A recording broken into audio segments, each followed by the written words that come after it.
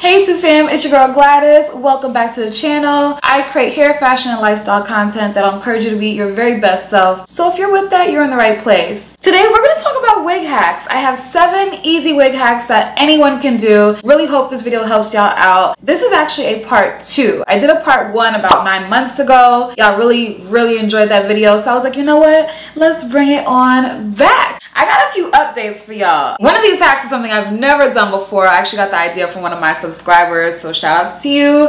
We'll see how it goes. Premiere party, if you're watching live with me and chatting with me, shout outs to you. Thank you so much for being here. And if you like what you see, make sure you like and share this video with a friend. I promise you, no matter what your skill level is, whether you're a novice or you're advanced, I'm sure you will learn something from this video. So let's dive into our first wig hack. I talked about it in part one. Have to talk about it again because I just need everyone to know. This baby right here, if you have not tried Simply Stylin' Silicone Spray, where have you been? Where, where have you been, sis? Maybe you're new to wigs. That's cool. I'll give you a pass. But this spray right here is the perfect elixir when it comes to detangling, maintaining my wigs, especially my synthetic wigs. And shout out to the homies at Simply Stylin' because they are sponsoring today's video. I have been talking about this spray for the past two years because I just love it that much. I really need y'all to just add this to the cart. Bam! I have been talking about a silicone spray that I use. Now this right here will get your synthetic wigs right. This silicone spray is a must have. Here's the thing about synthetic wigs. If you're new to them, they tangle, they shed, they are not made for long-term wear. So it is helpful to have products that will help extend the life of them. Not saying that it's going to cure all synthetic wig woes, however, it's nice to have something that aids in the maintenance of them. And this is what the silicone spray does. Because the way silicone works, it coats the hair, protects the hair, helps penetrate the shaft, seal the strands, so that way you have a more finished look and it aids in detangling as well. I have an entire video on this spray. Please check it out.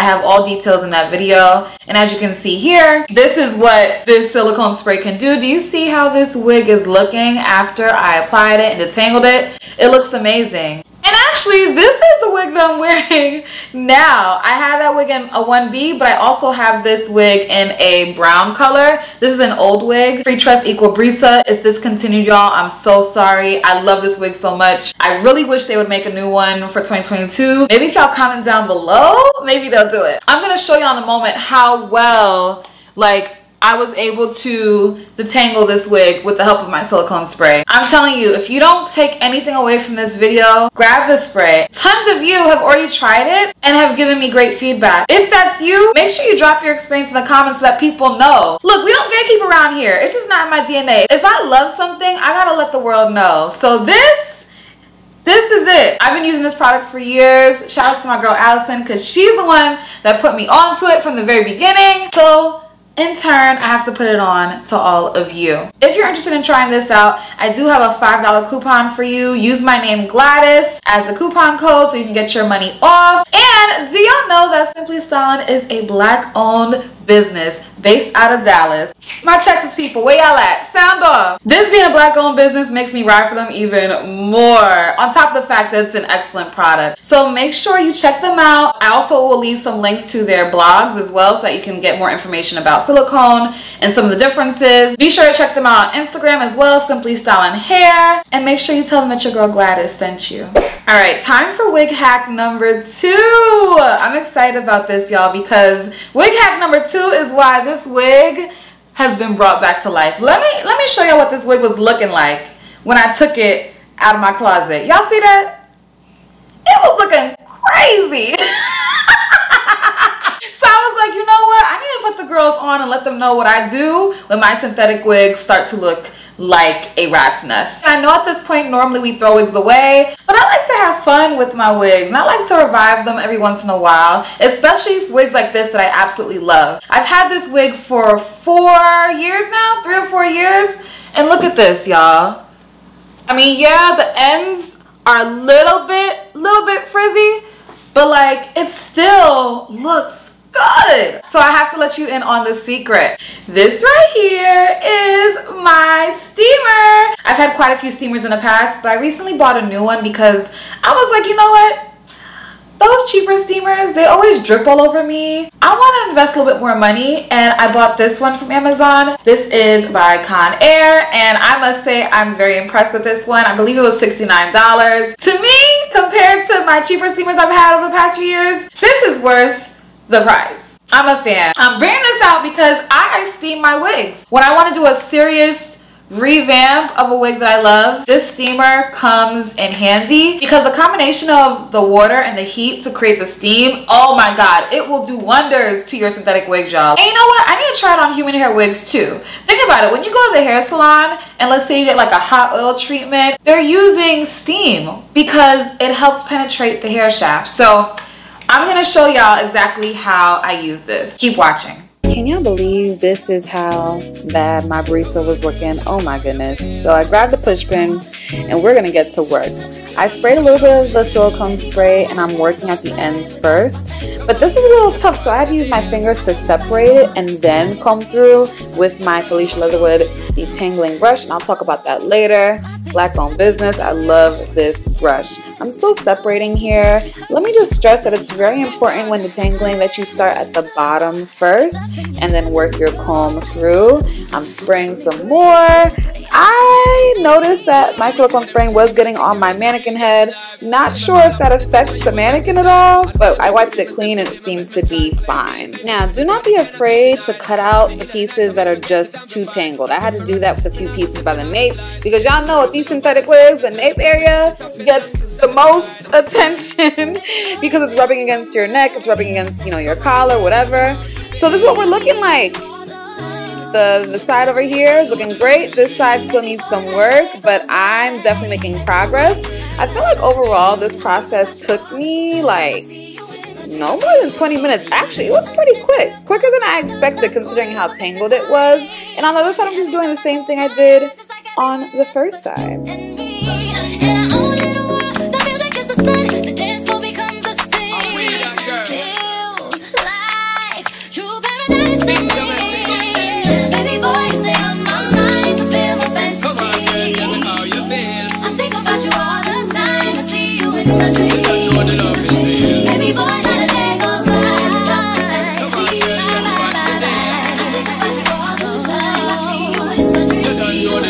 tell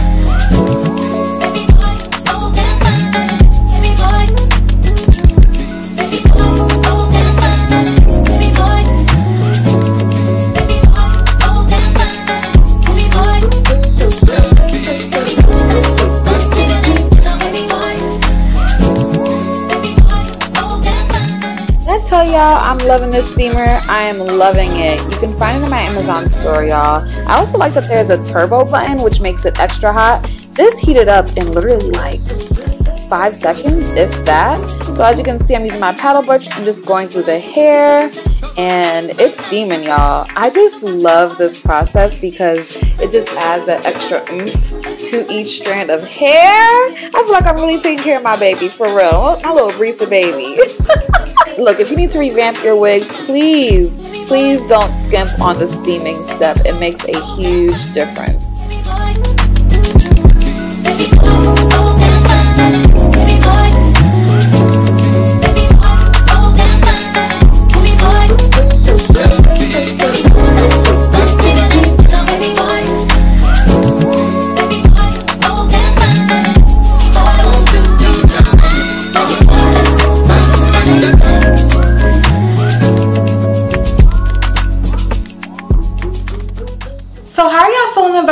Steaming process? Is this something that you've done before? Or is it something that you're willing to try? Please drop your comments. And if this video is helpful so far, make sure you share this with a friend. Like the video because this will push my video out to more people. Because I need everybody to be coming through this fall and winter season with their wigs laid and slayed, honey. Just because you're a beginner doesn't mean that you don't have to look good in your wigs. I actually have an entire Wig 101 playlist with tons of tips especially geared towards my beginners. So please check that out after this video and I'm sure you'll find videos that'll help you out in that playlist. Okay y'all, wig hack number three. We're gonna talk about lessening the density of your wigs and flattening the crown just to make it look more natural. For most wigs, unless you're paying hundreds up to thousands of dollars for your wig, you're gonna have to do some type of finessing to make it look natural. And the first thing I notice, especially with beginners, is that when they put the wig on, they often forget to flatten down the top of it. It always comes with this little hump or cone looking shape, and the easiest way to be rid of that is to use heat. Heat will be your best friend. Nowadays, most synthetic wigs are heat safe, so you don't have to worry about burning them up. But what I'll normally do, like you'll see in this video right here, I'll go in with a blow dryer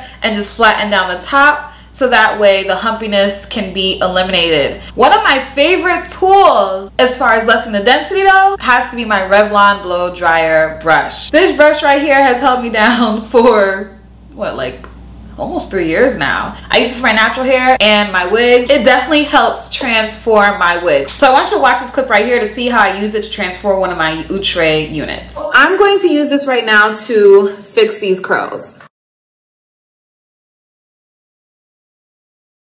So I'm all done blowing out some of the curls. Look at this. Look at how pretty this looks. Wow. This looks a lot better to me. So again, the reason why I use the blow dry brush is because I wanted to tame some of the curls. As a result, the wig might look a little bit longer and that's fine. I did blow dry it on low heat and it didn't take me but like maybe a minute. I think that's just like a really quick and easy way to style wigs like this that are very high density. Do y'all see how different that unit looked once I was done with it? Just by applying some heat, just by flattening down the crown, you'll have a much more seamless, natural looking install. Look, we know we're wearing wigs, but it doesn't have to look so wiggy. You know what I'm saying? This to me is super important. This is something I really tried to perfect in the beginning of me wearing wigs. I think I got it down packed now.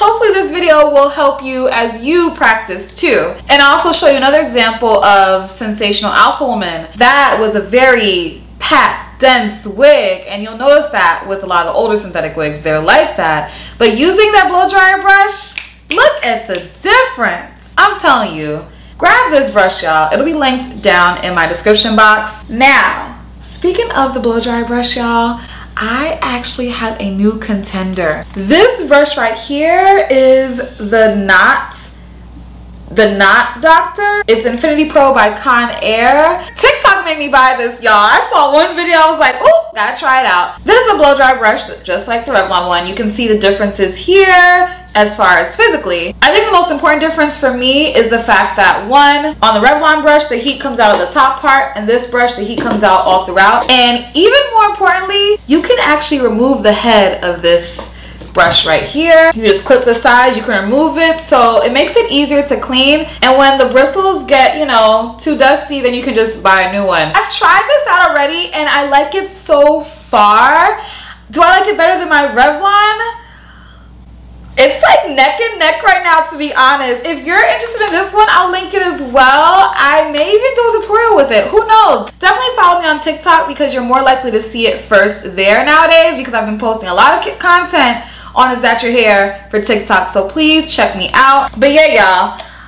I like this a lot. I'm not getting rid of my Revlon one now. That's still holding me down, but this is definitely a good contender as well. Okay, wig hack number four. We're gonna talk about tint and lace. I discussed this in 7 Easy Wig Hacks Part 1, where I use a tint spray. But this time, I'm gonna show you how I do it using my foundation. So check out this clip right here. All right, so this is gray. The foundation that I love to use, that I swear by, is this liquid foundation. It's the CoverGirl TruBlend Matte foundation in the color D90. This is what I use when I'm trying to blend lace, when I'm trying to change the color of the lace. And the reason why I use this is because the liquid will penetrate the lace. If you try to use something like this, like Black Radiance pressed powder or any pressed powder that is your skin tone, it's still going to look chalky. It's not going to penetrate the lace the same way this foundation does. So that's why I opt for this when I'm changing the lace color.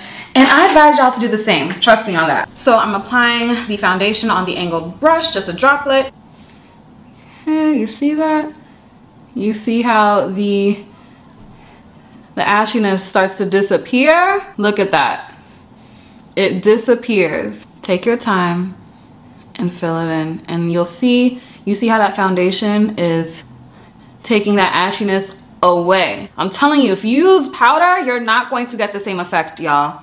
Please listen to what I'm saying. I will not steer you wrong with this. Y'all see how easy that was? It, it, like literally y'all i just want to take the guesswork out of this whole wig thing it doesn't have to be complex it doesn't have to be difficult use this video as your guide seriously because when i tell you that tip right there is game changer. I'm a dark skinned woman, so you know, lace is normally not made for my complexion. I always have to tint it, and I just realized that using the foundation to me has gotten the best blend. Sometimes even better than using my tint spray. The foundation I've been using, CoverGirl D90, you can find it in my Amazon store. It'll be linked. And everything that I use in this video, y'all, is already in my description box. Please check it out.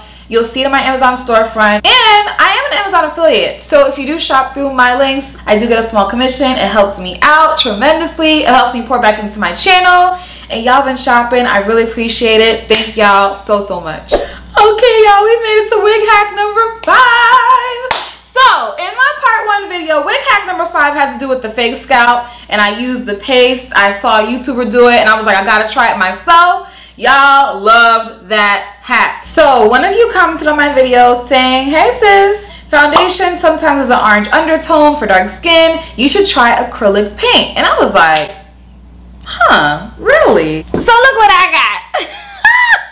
I got some paint from Amazon. We're about to use this for a wig, but not this wig on my head. I got a bob I'm about to show y'all in a second. This bob is by Sensationnel. This is Butta Lace 22. I actually already tinted the lace with my foundation. Literally, I've done nothing else to this bob. We're just gonna take this bang wig off, okay? And I'm gonna show y'all. You see my fresh braids? Nothing feels better than when I get my hair freshly braided, ready to slay a fucking wig. Like, I feeling like the baddest bitch. You feel me? Okay, so this is the bob. And you see how I'm just plopping this joint on. Let me tell you, the lace on the Butta lace wigs are insanely nice. You see that? Now that I've tinted it, looks pretty good. It definitely needs to be plucked more at the hairline, but we're not focused on that right now. We're literally focusing on this parting space area because we're doing a fake scalp today with acrylic paint. What is going on? Okay. So I did mix in some of the beige color with the brown color, but I don't know if it was really necessary. The main thing I'm focused on here is just making sure that the holes are filled up. Also, I'm not bringing the paint all the way to the front. I'm leaving a little bit of room because I will put a little bit of powder to properly blend the fake scalp. Somebody please tell me what happened here. What, Gwladys? I'm so sorry, y'all, but this did not come out the way I expected. I put way too much paint. So you know what I did? Went in with my black eyeliner and just started filling in that gap. If there's anything I'm going to do is I'm going to finesse the wig, okay? Even if it comes out crazy. So I'm just filling it in. I'm really just doing it very haphazardly. Honestly, I wish I did it neater, but that's fine. And then I went in with the pressed powder to try to clean it up a bit. I'm just not feeling how I did this part and I definitely feel like I need a do-over. If y'all want to see me do this again, let me know. One thing I am pleased with is the color. I think the color of the scalp came out exactly the way I wanted it to. So the bark brown with a little bit of beige was a nice combination. Overall, I think I like the Got2b glue paste hack better than the acrylic paint, but y'all let me know what y'all think in the comments. All right, y'all, let's talk about wig hack number six. This is an important tool that I use when I'm detangling the Felicia Leatherwood detangling brush. Remember that um, easy detangler brush that was super popular some years ago? Especially on YouTube, I used to see it everywhere with naturals. Bump all that. I've tried several and I know one of my knockoff ones broke. I think I got it from like Wish or something. This right here is so amazing. It's durable. And shout outs to Miss Naturally Mary because she's the one that initially put me on, right? And then I saw it on my girl Brittany, aka the Hearts and Cake 90, her channel. Look at this. This is not going anywhere. I have type 4, like 4BC, ZEFG type hair. And this glides through so well, especially if I have the right conditioner and some oils. What? I love the way this detangles my natural hair and especially when I'm coming through my wigs, like the kinky coily ones. And if you're trying to make your curls pop too in your wigs, you definitely want to use this as well because I just love the way it separates each strand of hair. But here's the thing, y'all. I checked Amazon and this tool is sold out. Oh my God, it has several colors. All of them are sold out. But I did notice that they have a travel size of this, which I'm actually about to buy. It's like $12.99. I put it in the cart. It's pink. I'll link it in my description box in case you want that. I noticed in the reviews that some people were using it on their children's hair. I would still use it for my wigs at least, but I need something like this for my actual natural hair. So if you want to check that out instead, you know, but if you can get your hands on this original one, I'm telling you, this will be your best friend on wash day, especially when you are washing and styling your wigs. And do you know that this is by a black owned business? You know, I really need to reach out to her and see when she's going to restock because this is a must have in my wig arsenal at this point. So the last wig hack I have for you, wig hack number seven, is this right here. This is the Got2b Glue spray wax. So you know how when you buy human hair wigs, sometimes they'll give you a wax stick. Well, this is that in spray form, which I thought was really cool. Shout outs to Weezy Wig Reviews on YouTube. Please check out her channel because she does a lot of awesome informative reviews. So I saw this and I was like, I gotta have it. This one's cool because it's a two-in-one, right? So you do like a more flexible texture or a more structured hold here. You see? You can twist it. Do I have it on one or two? I don't know. But either way, usually people use wax sticks to help tame the flyaway hairs. Also, you can use a wax stick to also help blend and mold the hair. The way you would use it is just you just spray it right here. And you know, you can dab it with your fingers. You can use a brush. I'm gonna use this right here. And this will really help tame those flyaway hairs. This wig didn't have a lot of flyaway hairs to begin with, but I do recommend this if you do not have a wax stick or if you don't like using one, try this spray wax. I think it's a really cool concept. I'm glad they came out with it. Guess what? We made it to the end of the video. Thank you so much for watching today. Let me know which hack is your favorite from part two. For me personally, favorite would definitely be my Simply Stylin' Silicone Spray. This has been holding me down for so long. Now the fake scalp hack, Wow. I would have never thought to use acrylic paint, but I'm really glad I did. Let me know what you thought about how it turned out because I think it's very interesting. I think I want to try it on some more wigs. What do y'all think? If you would want to see it again, let me know. And feel free to check out my other videos featuring how I've done my fake scalp with the actual Got2b glue and the paste. Make sure you check me out on TikTok because I post on there damn near every day at this point. Very frequent short videos and I'm trying to build a community on there. We just reached 6k so come join me. I'm also on Pinterest, I'm on Instagram, I'm everywhere y'all. So feel free to follow me on other platforms. And of course if you're vibing with your girl, subscribe to my channel, turn on those notifications so that you don't miss any upcoming videos. If you made it to the end, I appreciate you so much. Premiere Party, thank you for watching. I know I have been a little bit MIA. I know I've been inconsistent on here, but I'm getting back in the zone. I just really needed to, you know, live my life and be present. I was so frustrated because I wanted to get my Jamaica vlog out to y'all. You know, that's the one where I went to Hedonism. And if you don't know what Hedonism is, it's a clothing optional resort. T and I went for our fifth anniversary. We had a bomb time. My computer should be back hopefully by the time this video comes out.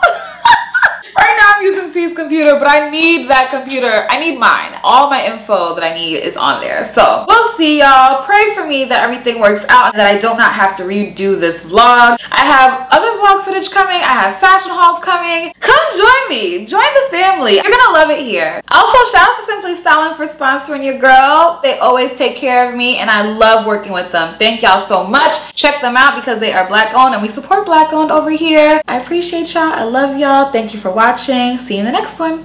Bye.